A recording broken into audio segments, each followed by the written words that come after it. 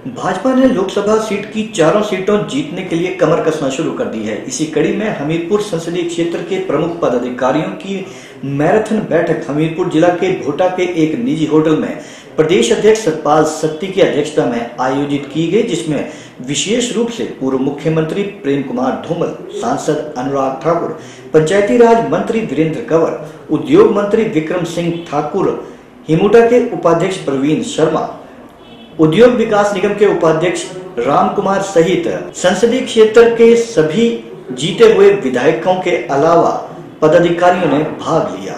सुबह साढ़े दस बजे शुरू हुई ये बैठक, शाम पाँच बजे तक चली, जिसमें हमीरपुर संसदीय क्षेत्र से भाजपा प्रत्याशी की जीत सुनिश्चित करने के लिए रणनीति भी बनाई गई। इसके साथ ही प्रदेश अध्यक्ष ने सभी सत्रह विधानसभा क्षेत्रों के पदाधिकारियों से संगठन की फीडबैक ली और कमियों को शीघ्र दूर करने के निर्देश भी दिए।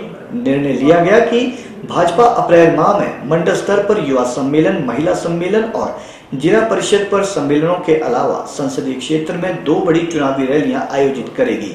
इसके साथ ही स्टार प्रचारकों की होने वाली रैलियों पर भी चर्चा की गई। सत्ती ने बताया कि केंद्र और प्रदेश सरकार की उपलब्धियों की जानकारी सभी पदाधिकारी अपने अपने विधानसभा क्षेत्र के लोगों तक पहुंचाएँगे। उन्होंने पार्टी कार्यकर्ताओं से कहा कि प्रत्याशी को सभी विधानसभा क्षेत्रों में हर बूथ पर लीड मिलनी चाहिए, जिसके लिए आज से ही पार्टी के लिए अपना सौ फ़ीसदी योगदान सुनिश्चित करें। सत्ती ने कहा कि स्टार प्रचारकों और बड़ी चुनावी रैलियों पर पार्टी हाईकमान ही फैसला लेगा। इसके साथ ही वे प्रत्येक संसदीय क्षेत्र से भाजपा प्रत्याशी के लिए तीन तीन नाम भेजने के सवाल को टाल गए और कहा कि इस बारे में राष्ट्रीय अध्यक्ष ही कुछ कह सकते हैं। वहीं इस बैठक के दौरान हमीरपुर संसदीय क्षेत्र के तहत आने वाले आईपीएस मंत्री महेंद्र सिंह ठाकुर की अनुपस्थिति कई सवाल खड़े कर गई आपको बता दें कि शुक्रवार को मुख्यमंत्री के साथ एक कार्यक्रम में वे गए थे, जिसके चलते हमीरपुर में आयोजित इस बैठक में भाग नहीं लिया।